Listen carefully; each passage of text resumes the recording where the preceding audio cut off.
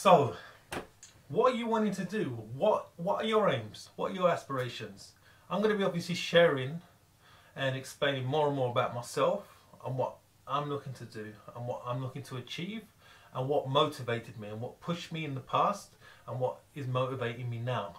Um, but at the same time, I want you to think within your own heart and within your own mind. What are your reasons?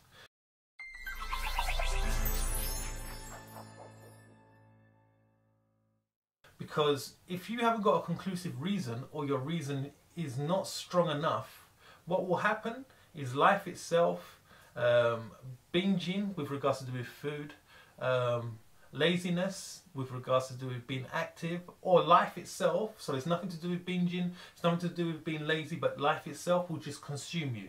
You've got all these different things coming in at you all the time trying to consume you with regards to taking you away from what your objectives are with regards to do with your health and with regards to do with your aspirations of where you want to go okay? And that's what impeded me and has has impeded me time and time again over the years.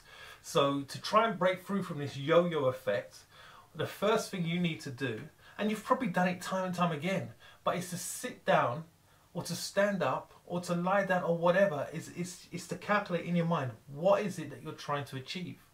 Is it a case that you've seen a doctor uh, and you know they've said something to you? There's a medical uh, reason why you're wanting to lose weight.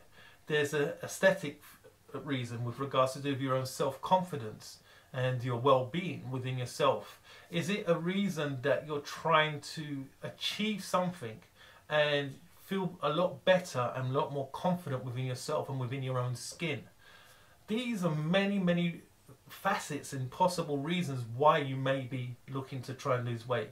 But what i want you to try and do is calculate what it will take for it to become not all consuming so it becomes detrimental to you but all consuming so it takes over those elements that are detrimental to you right now which possibly might be binge eating might be eating too much crisps chocolates snacks too much food on your plate not drinking enough fluids like enough waters nothing fresh not having fresh food um, not setting aside time to rest properly, not setting aside time to, to look at trying to do physical activities in whatever shape or form.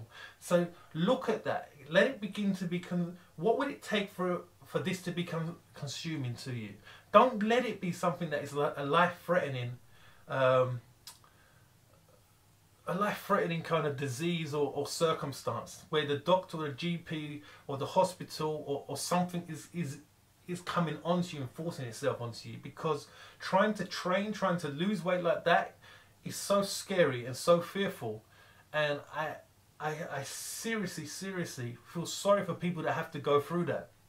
Seriously, it's, it must be the most awful thing. And I'm going to be able to share something that happened to me that really forced me to say, okay, let's do this YouTube channel. Whatever happens, whether it turns out this way or that way. And it's all to do with obviously visiting the GP, and uh, a specialist and trying to find out what, what was going on with myself and with my own body on two or three occasions. And then the other, the other thing that kind of started me off on this journey initially was the birth of my daughter. And that was like seven years back.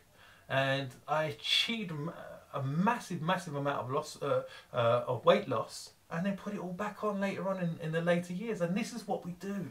And that's what I said to you, it's a lifestyle.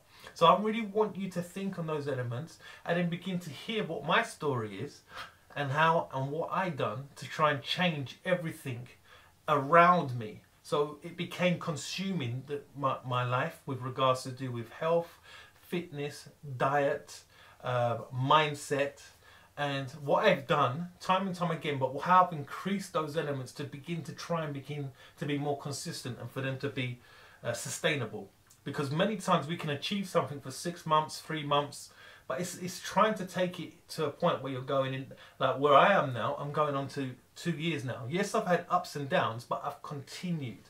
I have not, I've not stopped, I've, I've just not, I've relented, I've just carried on and on and on. And this is the best I've ever done. Many of you might be thinking, what's this guy talking about? Is that, is that it? That's that, that's as far as you've got. Yes, that is as far as I've got, but I want it to continue. And others might be thinking, wow, I wish I could just get to that point. I guarantee you can. Okay? And that's and that's what this channel's for. It's for people like who are thinking how. and why and when should I and how do I. So just go and do it. Just do it already. So just keep on keeping on, keep on watching, keep on subscribing, keep on liking, keep on in you know intermingling with other people within the community and so forth. And thank you so much for your support and I look forward to speaking to you again shortly. Take care. Bye bye.